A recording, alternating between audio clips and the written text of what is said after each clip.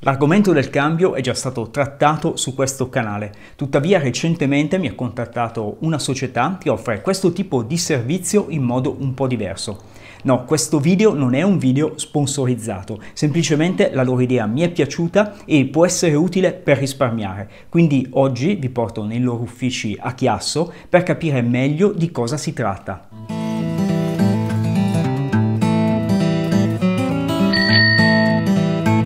Oggi siamo qui negli uffici di Cambia Valute con Filippo per scoprire come funziona un ufficio cambio un po' particolare. Esatto, ciao Luca, grazie per avermi invitato a questa intervista.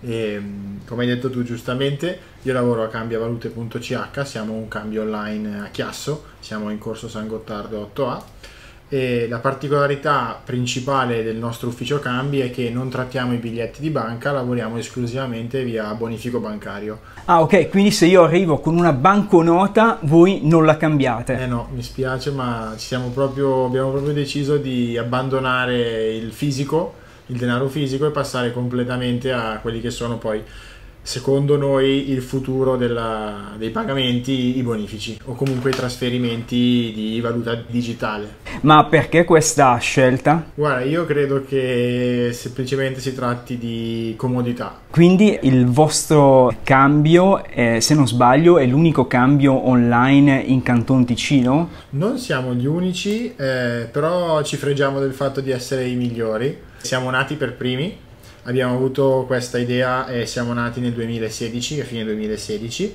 Da quel momento siamo cresciuti e ci stiamo espandendo, insomma ci stiamo difendendo e stiamo crescendo bene. Ok, ma eh, per capire meglio, un cambio tradizionale più o meno sappiamo tutti come funziona perché ci si entra, si vede come dire, gli operatori, lo sportello. Come funziona invece un cambio a valute online? Guarda, è molto semplice. Il cambio valuta online prima di tutto ti deve dare una certa sicurezza perché una delle domande che la gente che prova per la prima volta il servizio o eh, visita il sito per la prima volta ci chiede come faccio a fidarmi, chi siete. Per questo noi abbiamo sul sito, alla sezione chi siamo, ci sono le facce del personale, i volti del personale e poi le licenze che devi avere per poter fare questo tipo di attività. Noi siamo regolati dalla OAD Polireg, che è un organismo di autodisciplina istituito dalla legge sugli intermediari finanziari, eh, quindi noi abbiamo tutte le licenze del caso, siamo comunque assicurati per la responsabilità professionale e um, devi innanzitutto capire se è fatto per te, se è fatto apposta per te, se ti fa risparmiare e se ti puoi fidare. Ti puoi fidare, abbiamo detto che devi avere le licenze, puoi verificare sugli albi del cantone, cioè l'albo fiduciari, trovi sia me che l'altro fiduciario che appunto lavora a cambiavalute.ch, devi avere come ti dicevo i due conti bancari, uno in valuta franchi, uno in valuta euro e poi come ultimo scrupolo un eh, po' di eh, liquidità sul conto. Ma è quella per forza perché qui nel senso noi dobbiamo cambiare i soldi se, se, non abbiamo soldi da cambiare non lavoriamo. Ma il servizio di cambia valute è rivolto principalmente ai frontalieri allora? La nostra clientela sì è composta proprio da frontalieri ma cambia valute si rivolge a tutti coloro maggiorenni che abbiano un interesse dimostrabile sul suolo svizzero o che siano residenti quindi mh, la Maria della Val di Muggio può venire a cambiare da noi assolutamente, sempre con i bonifici, non con i contanti, ma può farlo senza dubbio e a, siamo felicissimi che lo faccia. È chiaro però che per un cambio valute in Svizzera il principale cliente, specialmente se sei rivolto alla clientela retail, alla clientela commerciale al dettaglio, sono i frontalieri, sì. Ok, perché il mercato ehm, diciamo, del cambio in Svizzera stimato sui frontalieri quanto potrebbe equivalere? E uh, a questo punto io farei entrare in gioco l'aritmetica. Uh, stime recenti dicono 71.000 frontalieri circa in Canton Ticino. Okay. Parliamo del Canton Ticino. Facciamo uno stipendio medio di 4.000 franchi. Okay. Arrotondando, eh, cifra più, cifra meno, e viene questa cifra d'affari. Ok, aspetta che non riesco a leggere gli zeri. 284 milioni, milioni al mese eh sì. o all'anno? No, al mese. Al mese, quindi per 12 superiamo... Eh, per 12 sono tanti soldi. Sono 3 miliardi 408 milioni. Ah, ok. Eh, di franchi. Adesso si spiega perché ci sono parecchi cambi esatto. sul territorio. Sì, sì, ok. Sì, assolutamente. Quali dati servono per poter utilizzare il vostro servizio?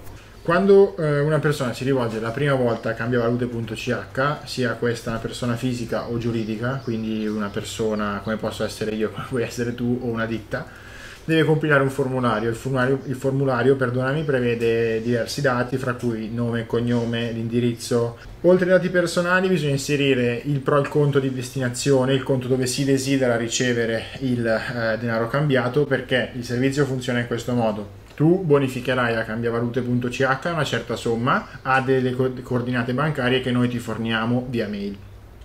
Noi ti ritorniamo la somma cambiata nella valuta che ci hai chiesto sul tuo conto, conto che ci hai indicato tu stesso.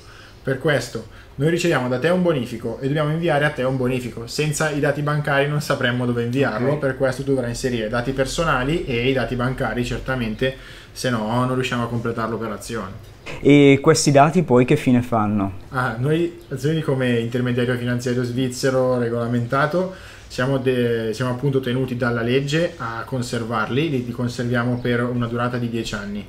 In più siamo comunque tenuti a osservare tutte le leggi di tutela della riservatezza, l'obbligo fiduciario, eccetera. E per quanto riguarda i cittadini europei, quindi residenti in Europa e ehm, appunto residenti in uno Stato membro, osserviamo anche la legge, la cosiddetta General Data Protection Regulation, che è GDPR, per cui appunto dobbiamo osservare tutta quella serie di diritti riconosciuti ai cittadini europei in termini di cancellazione dei dati, eh, diritto all'oblio, eccetera, eccetera. Ok, quindi diciamo i dati di chi utilizza il vostro servizio non è che vengono venduti a qualcun altro? Assolutamente no, li abbiamo noi nei nostri, nei nostri archivi, sia digitali che fisici e non vengono dati assolutamente a terzi, li trattiamo noi. Puoi chiedere, guarda, ci metto la mano sul fuoco, qualunque nostro cliente non ha mai ricevuto una comunicazione strana perché noi abbiamo venduto dati, eccetera, garantito. Ma ehm, adesso voglio capire un attimino meglio come funziona un cambio, perché è vero che il cambio guadagna sul margine che fa sul um, cambio diciamo interbancario, sì. ma ehm, il cambio può anche in un certo modo scommettere sul rialzo e il ribasso, quindi potete insomma giocare sulle oscillazioni, certo. funziona così. Hai ragione, ma è estremamente rischioso Prima di tutto perché nessuno ha idea di come andrà il cambio da qui a un minuto, a un mese, a un anno, non lo sa nessuno e ti faccio una battuta che mi ha fatto, sempre fatto il mio capo. Se sapessi come vanno i mercati del Forex non dovrei lavorare, quindi ti posso garantire che non, non, sarei qua a lavorare. Per quanto riguarda lo uh, scommettere i soldi altrui, a parte il fatto che non si può più fare ed è, presuppone una qualche sorta di illecito, e a seconda questione sarebbe altamente rischioso. Poniamo il caso che io compri ad un prezzo che si poi si rivela essere 10 minuti dopo estremamente svantaggioso, ovvero il cambio è qua, quindi io compro qua e la clientela 10 minuti dopo comincia a comprare qua. Caso generale, io ho usato tutti i miei fondi per comprare a questo livello e la clientela compra qua, io sto perdendo tutta la differenza.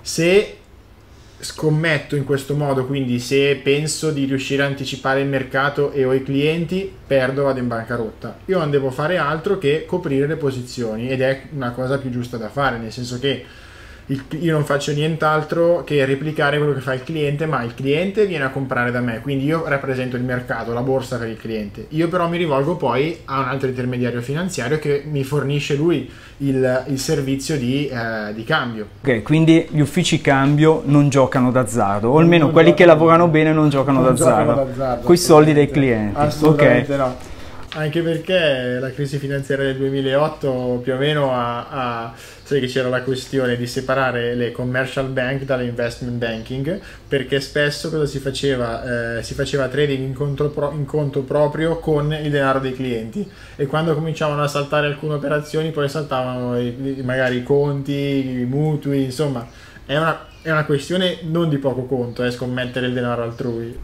Ok, va bene. Allora a questo punto non ci resta che provare il servizio e a me sinceramente Cambia Valute mi ha convinto. Adesso proviamo a cambiare qualche soldino qui direttamente dal loro ufficio. Per essere sinceri, il cambio valuta non l'ho fatto nei loro uffici, ma l'ho fatto poche ore più tardi quando sono arrivato a casa. Il cambio è stato fissato al momento della mia richiesta, quindi come diceva Filippo, per lavorare bene bisogna acquistare valuta nel momento in cui il cliente fa una richiesta di cambio, ricalcando la sua domanda. Per fare un confronto, il giorno stesso ho fatto un giroconto da un conto in franchi a un conto in euro. I costi del giroconto sono stati di circa l'1,33%. Il costo di cambiavalute è stato solo dello 0,32%.